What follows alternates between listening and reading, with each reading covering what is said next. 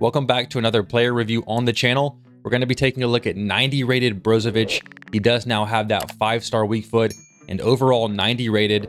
So I'm expecting this card to be a very good CDM. That's where we're mainly going to be playing him. We are going to be using that Shadow chem style to get the pace boost and the defending boost. That pace is obviously the lowest stat, so boosting that up for sure makes sense. This card is 5'11 with 3-star skills, and like we said, that 5-star weak foot medium, medium work rates should be able to get the job done in that CDM role. And as far as the in-game stats go, so we said 79 pace, but we're going to get plus eights across the board and acceleration and sprint speed. The shooting does look kind of average. However, he does have the 90 shot power and 94 long shots. That means he should be a threat from range. We'll definitely be testing that out. As far as the passing looks, we're talking about 91 short passing, 90 long passing, 89 vision, the passing should be top notch. The dribbling, I'm not really sure how to feel about that.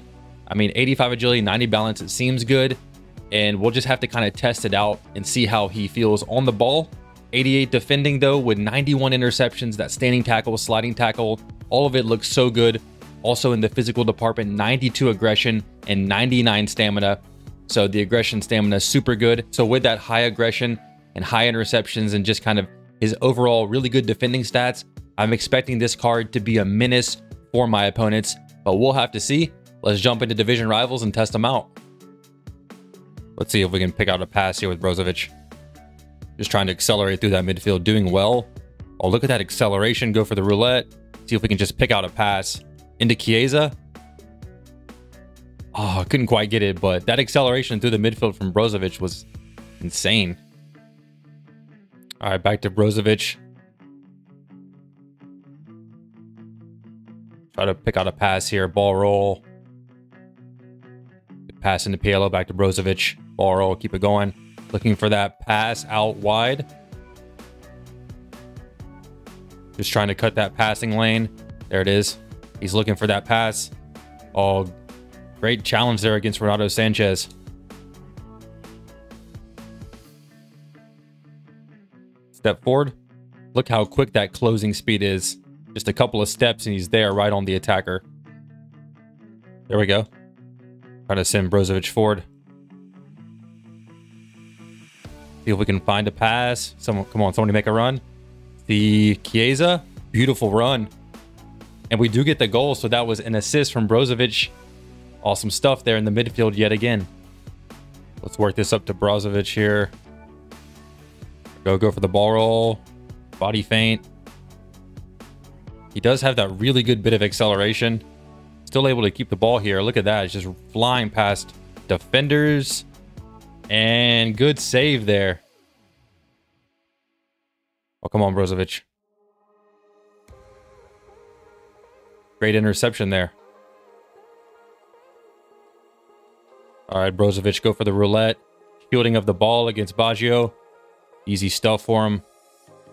Use that acceleration. Let's see if we can work a long shot angle. Oh, I'm trying. He's defending it well. Let's go for that finesse shot.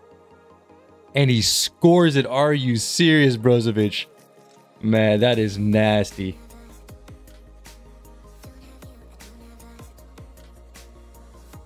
Test another long pass with Brozovic. Going to be to Nunez this time. Got to time it perfectly. We do. That weight of the pass was great.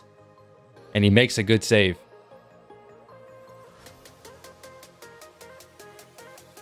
Go for the step overs.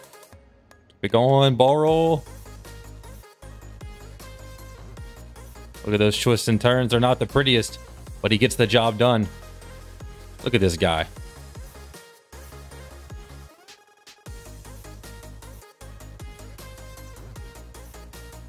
See if we can find that interception or close him down there. Yeah, look at that. He's just going to keep shielding it. Oh, we turned him around. He still got the ball. Got around Zidane and Renato Sanches there.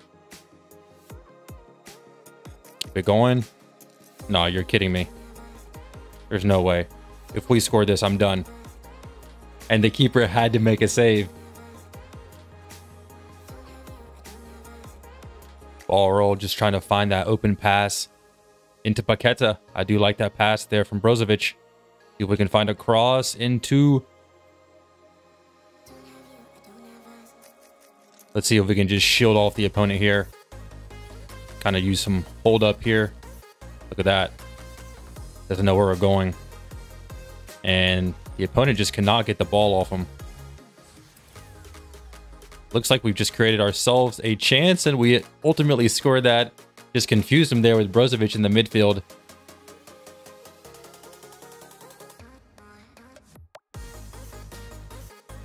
There we go, able to knock him off the ball with Brozovic.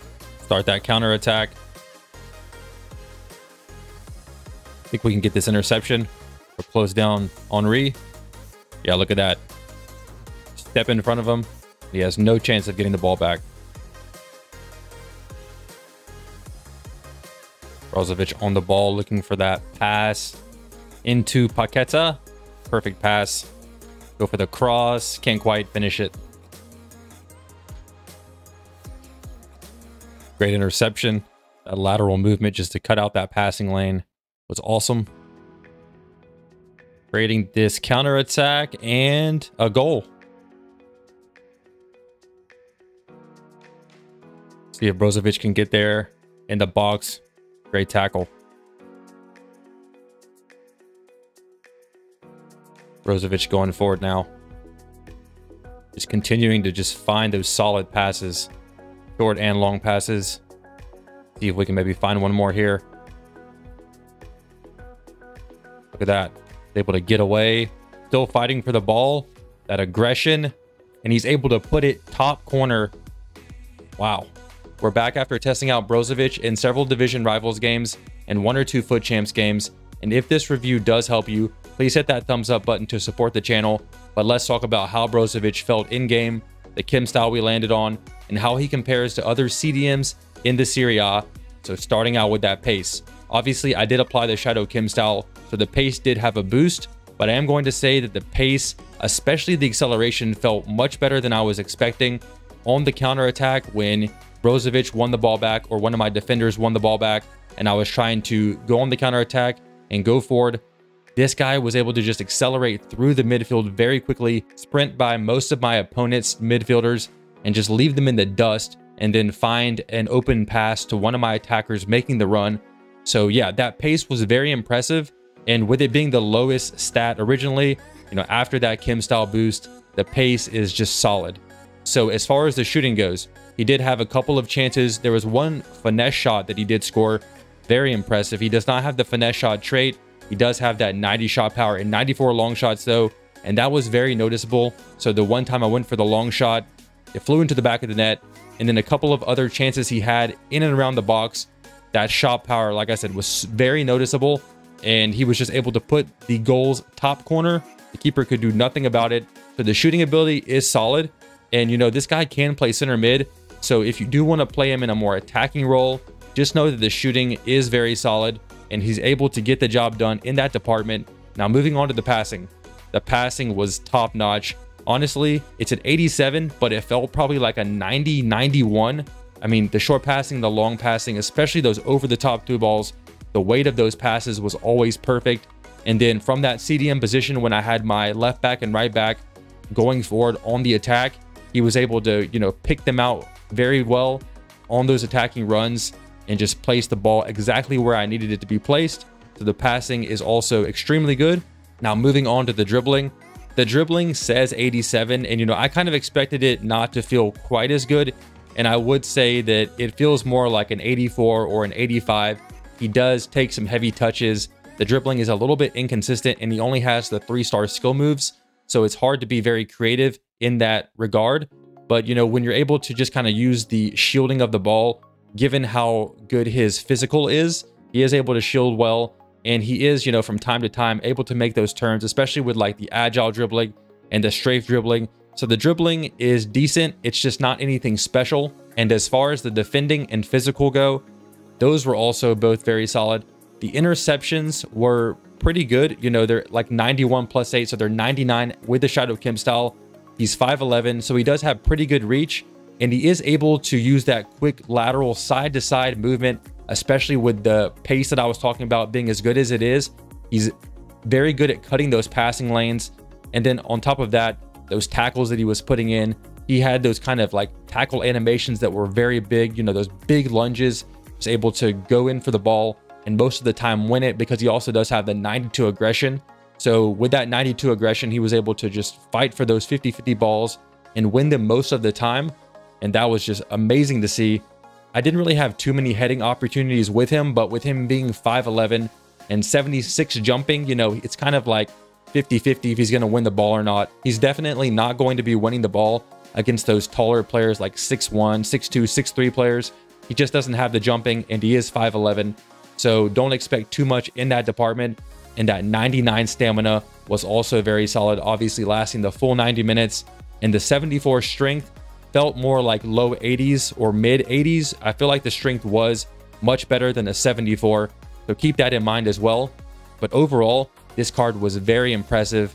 And I, like I said, I did land on the Shadow chem style. And I do think in that CDM role, that's definitely the chem style to go for. But now let's talk about how he compares to other CDMs and more defensive-minded CMs in the Serie A.